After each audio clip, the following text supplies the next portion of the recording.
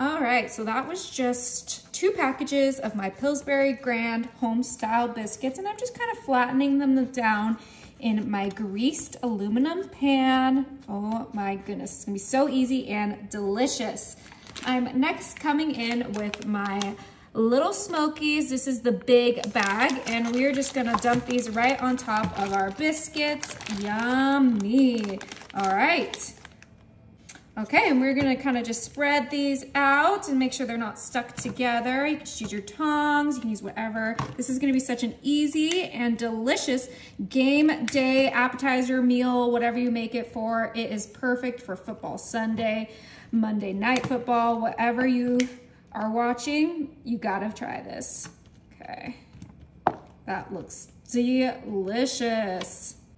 Now I'm coming in with my favorite barbecue sauce, the Kinder's Mild Barbecue, and we are gonna do a generous drizzle of our barbecue on the entire pan, on the biscuits, on the little smokies, on everything. If I had thought about it, I probably would have doubled my little smokies because it is looking a little slim, but once those biscuits puff up and just form around the smokies, this is gonna be so yummy, so incredible, and it won't look as, you know, skimpy. Now I'm just adding another kind of, you know, drizzle of our barbecue because we really want this to be nice and moist. And this is what's gonna bring that moisture. Otherwise you just have some dry biscuits with little leanies on them. Okay, once we have a good amount, I probably used about half of this jar of barbecue sauce. We are gonna add our last ingredient because this is an easy four ingredient appetizer. We have some sharp cheddar. You can use whatever cheese you like. You could do a pepper jack, you could do a Colby jack, a mild cheddar, a mozzarella, but I really think that this sharp cheddar goes perfectly with the barbecue sauce flavors. And we use that whole entire one pound bag of cheddar for this. Kind of just spread it. Make sure you don't touch that barbecue sauce, but we get cheese on every bite. Yummy. This looks absolutely amazing. And that is it, you guys. Easy four ingredient game day meal. My oven is set to 350 and this is gonna bake for like 25 minutes. It's super quick.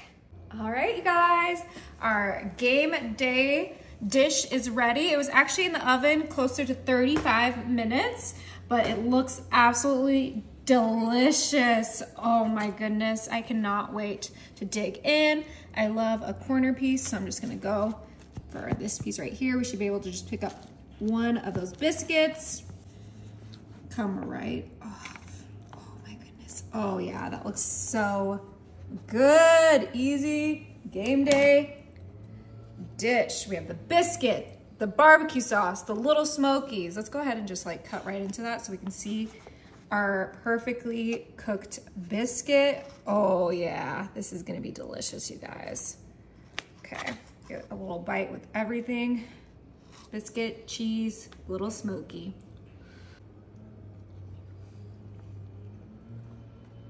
Mm.